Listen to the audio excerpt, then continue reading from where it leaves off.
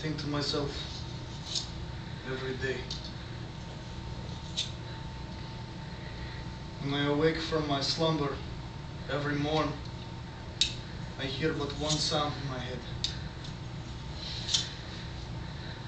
The sound of the Roman dying.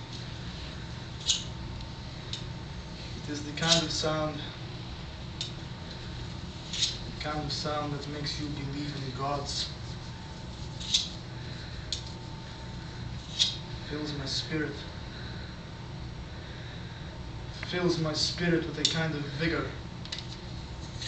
No. Drive. A drive to move forward. Shh. If you listen, you can still hear them screaming.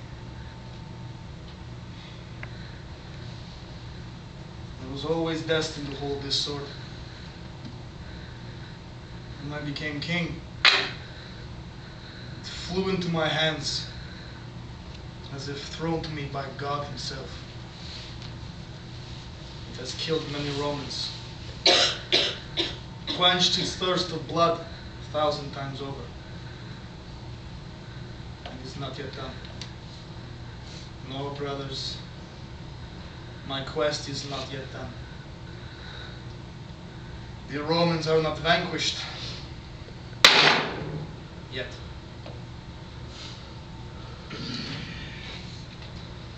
I spend my nights dreaming of a way to stamp out the Roman locust. How best to cut off the head, sever off the limbs, puncture the abdomen, and watch as the fluids spill out. It is a good dream. Now, brothers, it is time again for us to ride to Rome.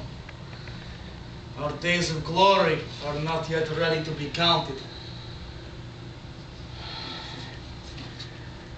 The mighty Roman. Where is your might now? It is spewing out of the gaping wounds of your people. The glorious Roman. Where has your glory gone? It's burning down with your cities. What we carry in our wake is the wrath of God. And we shall bring it down upon every Roman man, woman, child. I care not. I want them all dead. I want them screaming for mercy. I want them to beg each other to kill each other because even the mighty Roman knows a death at my hand would leave them stranded in the afterlife in pieces. Brothers, now is the time to sever off the heads of our enemies from their shoulders. Hold it up on high and say, We are the Huns, the artists of war, the bringers of carnage. We are not afraid of your petty soldiers. Our shouts will be heard throughout your pitiful empire. We will find your. We will turn their skin into tent covers, their bones into tent posts. We will festoon our bedchambers with your innards. And when we are done, when our victory has come, when your city burns, when your people lie drowning in a pool of their own blood, we will drink to you. For I am Attila, the scourge of God, and I will not be defeated by anyone. Take that to the troops. Tell them to gather up what little they need. A day of dawn fastly, fastly approaches. Now go. I will have what I want.